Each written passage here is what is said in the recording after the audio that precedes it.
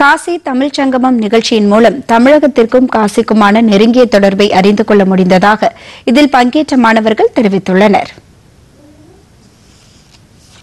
தமிழகத்திற்கும் காசிக்கும் உள்ள பழங்கால தொடர்பை மீட்டெடுக்கும் விதமாக காசி தமிழ்ச் சங்கமம் என்னும் ஒரு மாத கால நிகழ்ச்சி வாரணாசியில் நடைபெற்று வருகிறது.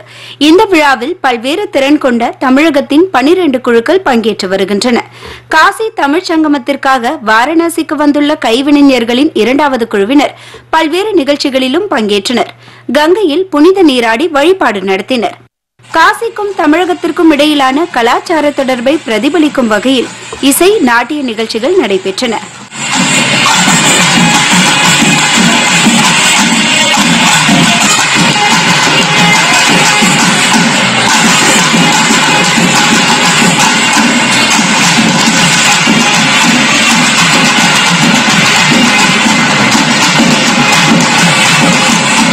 கலாச்சார நிகழ்ச்சியின் தலைமை விருந்தினரான ஜெயந்தி ரவி காசி தமிழ்ச் சங்கமத்தில் கலந்து கொள்வதில் மகிழ்ச்சி அடைவதாக தெரிவித்தார். கலாச்சாரம் நம்ம பண்பாடு இது எல்லாத்துலயும் அந்த ஒற்றுமை தான் இருக்கு.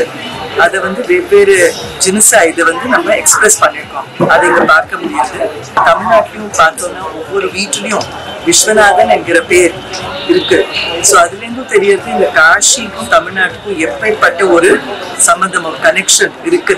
காசி தமிழ்ச் சங்கமம் சுற்றுப்பயணத்தை முடித்துக்கொண்டு புறப்பட்ட மாணவர்கள் தங்கள் மகிழ்ச்சியான அனுபவத்தை பகிர்ந்து கொண்டனர் இங்கே வந்து நல்ல வரவேற்பு சிறந்த தங்குமிடம் நம்மளுடைய தென்னிந்திய உணவு வகைகள் மற்றபடி போக்குவரத்து வசதிகள் எல்லாமே ரொம்ப சிறப்பாக பண்ணி கொடுத்தாங்க all the uh, government people, the policeman, and uh, everyone has been uh, coordinated very well, and we had a great time all together. It was such a great experience uh, on the whole.